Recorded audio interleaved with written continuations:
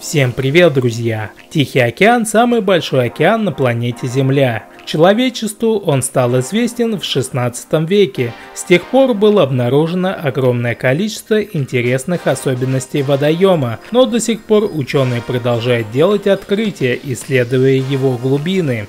Впервые на берег Тихого океана нога европейца вступила в 1513 году. Это был Нюньес де Бальбоа, испанский конкистадор. Он и его спутники решили, что перед ними море, дав ему название Южного. Тихим океаном он был назван в 1520 году Фернаном Магелланом. Во время кругосветного плавания путешественника на всем протяжении океан был спокойным, за что и получил свое название. Русские мореплаватели до 1917 года использовали два названия – Восточный океан и Тихое море. Максимальная глубина океана обнаружена в Марианской впадине – 10 994 метра, согласно измерениям 2011 года. Самая глубокая точка получила название бездны Челленджера по названию гидрографического судна Челленджер, с которого впервые были проведены измерения в 1951 году. Средняя глубина Тихого океана 3984 метра.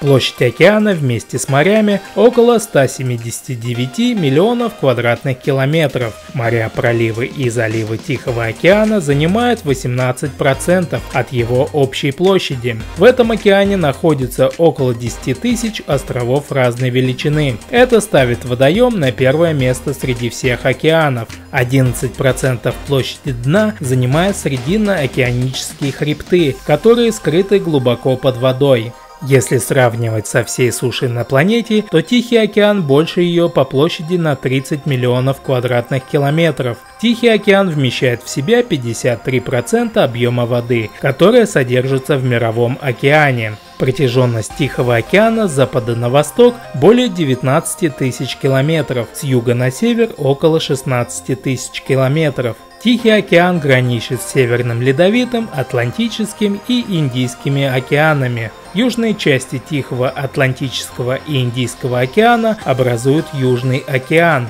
Тихом океане находятся самые крупные острова – Калимантан – около 750 тысяч квадратных километров и Новая Гвинея – около 800 тысяч квадратных километров. Больше них только остров Гренландия – около 2 миллионов квадратных километров, который омывается Северным Ледовитым и Атлантическими океанами. По Тихому океану проходит международная линия перемены даты по 180 меридиану. Это условная линия, по обе стороны которой разница в местном времени составляет 24 часа.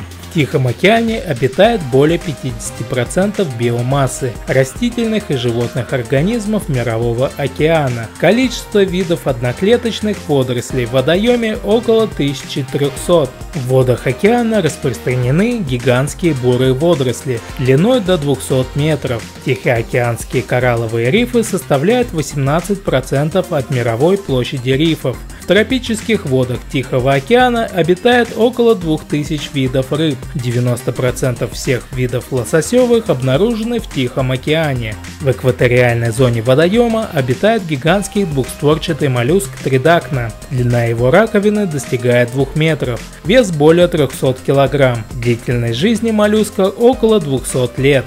На глубине около 9 километров живут галутории, беспозвоночные животные типа иглокожие поисках пищи они пропускают через пищеварительный тракт грунт и песок, отфильтровывая планктон и органические остатки. Тихий океан таит в себе еще много интересного, но из-за безответственности людей его воды загрязняются нефтью, атомными и химическими отходами, мусором.